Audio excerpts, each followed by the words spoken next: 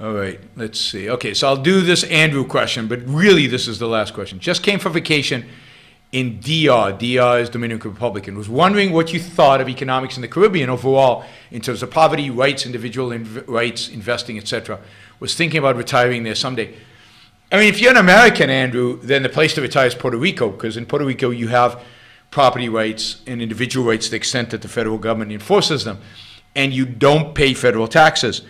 And uh, you can, if you structure your retirement right, you, you don't pay many taxes at all.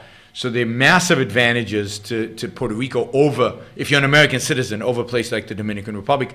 I think the problem with the Dominican Republic and the problem with the rest of the Caribbean, well, with some exceptions like the Cayman Islands maybe, and maybe the British Virgin Islands, is that there is no respect for property rights and individual rights. And, and you could have a flip in the regime or something would happen and they, and they decide to, to rob you of everything that you have, and there's no protection against that. That's why I like being in Puerto Rico, where I'm still protected somewhat by the rule of law, the American rule of law.